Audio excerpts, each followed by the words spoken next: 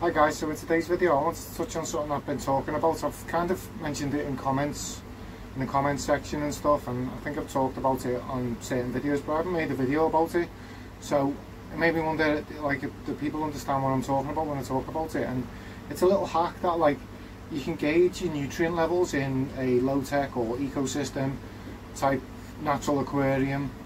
And I thought it'd be handy for people to understand. Um, obviously I, I didn't invent it but it's something that I've, a lot of the information I share is tried and tested methods that I've come across over the years like my four key concepts I talk about that they're stuff that I've come across over the years and I bear them in mind. It just helps me uh, bear things in mind when I'm dealing with situations so obviously I talk a lot about floating plants don't I and the aerial advantage and there's there's more to it than just are absorbing excessive nutrients out of your aquarium. If you look there, remember I uh,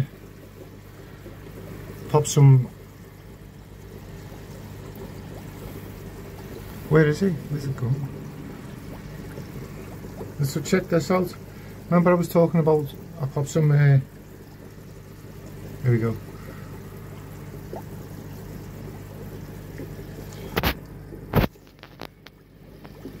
Remember I popped some Amazon frog bit in the tank because it wasn't doing well on the other one. Well, it was like one leaf when I put it in here. Now it's now it's quite a few, and there's another bit just over in the corner there. I'll see if I can get a clear shot. There you go. So we've got Salvinia, we've got duckweed. Now, duckweed can be a bit of a pain. But let's talk about it. Right, so not only does this absorb excessive nutrients out the water column, it also acts as an index that we can use if you're running a low-tech planted tank or like a Walstad method tank or anything like that. You can gauge stuff. Now remember that a lot of people talk about algae and stuff in the water. Now, on a basic terms, in a basic sense, algae is excessive light and excessive ammonia in the water. There's excessive light and ammonia in the water and the plants aren't absorbing the ammonium. It's going to create algae, not so we need to balance it. So how do we balance it? Using the dreaded duckweed and other floating plants. So I'm just doing my weekly water changes. I missed them last week because we had a really cold spell and I wasn't into it. But let's get into the meat of today's video. So if we've got plants in the water column and we've got floating plants. No. We know the plants are getting enough CO2 from the atmosphere on the surface and we know they're getting enough, enough light. So therefore we understand that if they the floating plants are struggling, it's, pro, it's, it's likely a nutrient deficiency unless something strange is going on in aquariums, then we know it's a nutrient deficiency. So then if the floating plants are doing well and the plants in our aquarium aren't doing well, then it's either a lighting issue, but if they, it's either a lighting issue or there's insufficient nutrients in the water column for the plants.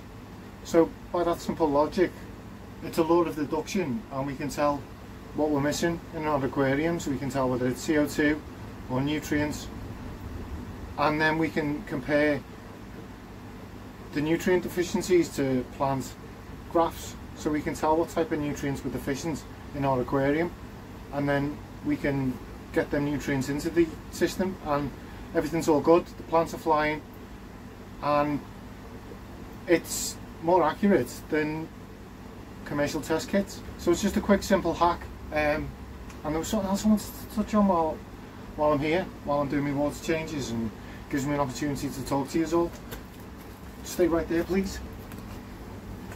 So I've seen some people playing around with Ludwigia repens lately and talking about Ludwigia repens, which is a cool plant.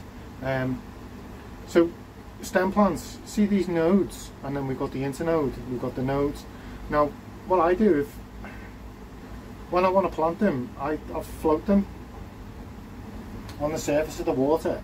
Obviously, the oxygen CO2 exchange right the surface is probably the best in a low-tech planted tank. But seeing that, so we've got adventitious roots growing and we've got new stems growing from the main stem, these off. And what we can do is cut these and plant that when it gets big enough, say that one there, we can cut there and there and plant that in the, subs in the substrate and we grow a new stem. And if this is all healthy, you could float it on the surface and that's that's what stem plants do. Rotala does it. There's, there's tons of them that propagate this way. I'm not sure that Bacopa does it. If anyone knows what the Bacopa does it, let me know in the comments because I'm interested. The main two I know of is Rotalas. They'll literally lay down on the substrate and then throw out a load of runners and a load of shoots, roots, structural roots into the ground and they're off. So if anyone's struggling to get uh, a Ludwigia going or they're, struggling to understand how to propagate Ludwigia repens and Rotala, stuff like that, then there's your answer. And I was hoping to get the floor start tank set up, but because of the storm we've just had, I've been doing crazy hours in work. I've been leaving at like 4 o'clock in the morning, 5 o'clock in the morning, and sometimes I've been getting until 1 or 2, hence the scruffy beard and the hair. I wanted to get them cut, but I just haven't had time. And I think I've missed a few days of video, so once to get a video out, I thought there's a few neat ideas for you to uh, gives you a bit of inspiration and go, ah, I can try it on in my tank. Um, yeah, and I've ordered, I also ordered a big order of plants that I wanted to get in this tank. I don't like I won't spoil the fun and let you know because what's the point in telling you and then you already know what's coming before the video comes out. So I was thinking about doing Dustin's dated, wasn't I? I keep calling it up here, which is just like a low, low tech dated tank.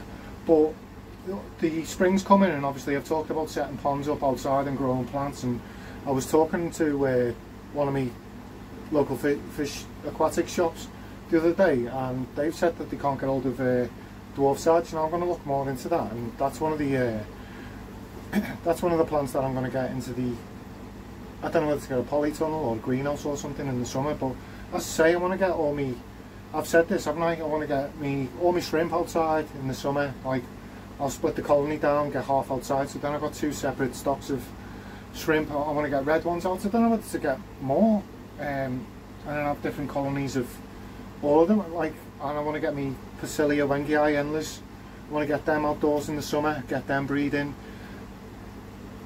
Just want to have fun, guys, and get some plants growing. I want to get dwarf sedge going, Val, um, Ludwigia repens, and I'm just thinking, if I set these tanks up now, um, the weather's going to start heating up, isn't it, in March? So and we're not far away from March now in terms of. So yeah, I'm not sure. Guys, take care. See you soon.